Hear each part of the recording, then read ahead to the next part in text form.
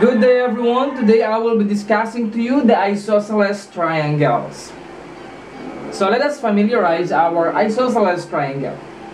So let's say we have the triangle ABC. By definition, isosceles triangle have what we call the legs. So our legs here are equal. So this is our leg and the other leg. And this is what we call the vertex angle. Vertex angle. And the two here are the base angles. Okay, the two angles is our base angles. So we also have the isosceles triangle theorem. Our theorem, base angles of an isosceles triangles are congruent. That means in our given figure, angle A is congruent to angle C because the two angles is our or are our base angles. And the legs of an isosceles triangle are congruent. That means, in this case, segment AB is congruent to segment BC. Okay, that is our theorem, isosceles triangle theorem. Now let's have our first example. In the figure here, let's say A, B, okay, sorry. So A, B, C, okay.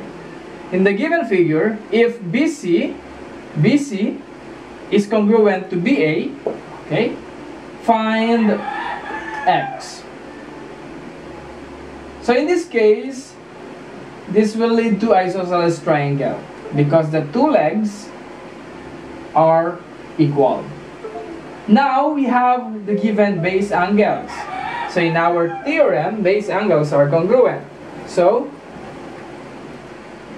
our base angle here is angle C and angle A. So angle C is equal to angle angle C is equal to angle A.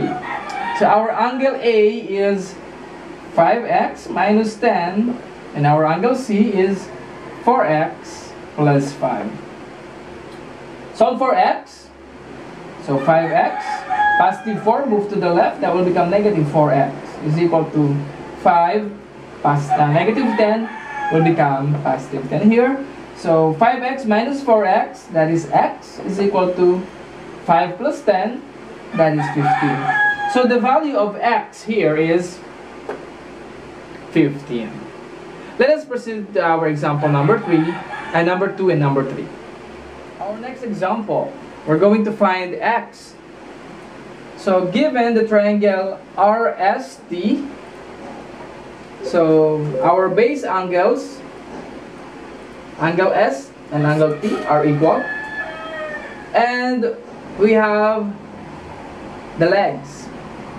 Okay, we know that legs of an isosceles triangles are congruent. So we have SR is congruent to RT. Okay. Now we have the given measurement for SR. We have 3x minus 13 that is equal to RT 2x. Solve for x. We have 3x minus 2x is equal to 13. 3x minus 2x, that is x is equal to 13. Okay. Next, example number 3. We have a triangle PQR. Our legs, uh, we're going to find x. We know that this is our base angles. Okay. If this is 2x, the other base angle is also 2x. We need to find for x. So we have three angles. So we have the given. Then recall the definition of the sum of the interior angles. The sum of the interior angles is equal to 180 degrees. So if I were going to add 2x plus 2x plus 40, that is 180.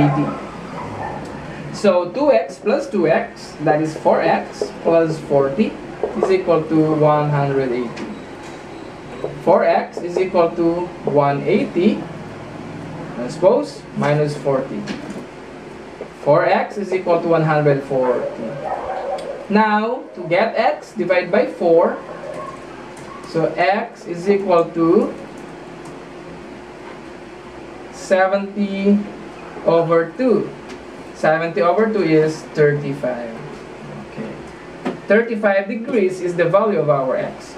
If you want to substitute, then we have 2 times 35, 70 plus 70, that is 140, plus 40, 180.